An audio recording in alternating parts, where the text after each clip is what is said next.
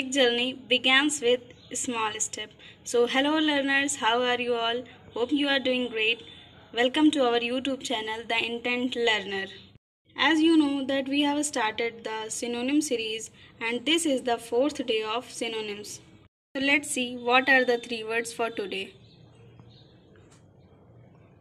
For today, our three words are busy, victory and fear.